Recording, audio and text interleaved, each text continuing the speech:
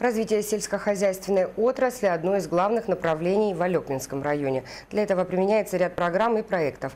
Одна из форм – возможность получить беспроцентный кредит для строительства своего жилья. Но это не все. О других проектах, направленных на поддержку местного производства и поддержку жителей района, смотрите в нашем следующем сюжете. Будем работать. Спасибо. Подписанием соглашения о сотрудничестве между Алекминским районом и компанией Туймада завершилась эта встреча. Речь идет о беспроцентном кредитовании через ФПК сельского населения для индивидуального строительства. Со своей стороны Александр Арткемьев, заместитель генерального директора, отметил, что предыдущий опыт работы только положительный.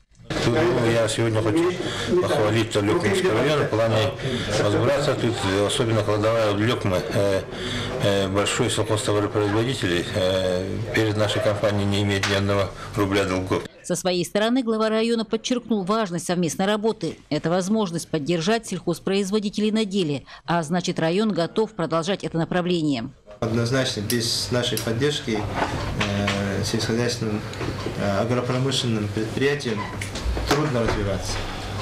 Да, понимая всю финансовые трудности. В целом сотрудничество с компанией – это не только жилищное кредитование, это готовый животноводческий комплекс для кладовой Алекмы в селе Инкюрь. Просматривается перспектива еще одного, учитывая, что даже на старой ферме работники не опустили планку рекордов. Елена Фаст, Максим Копылов, НВК «Саха», Алекминск.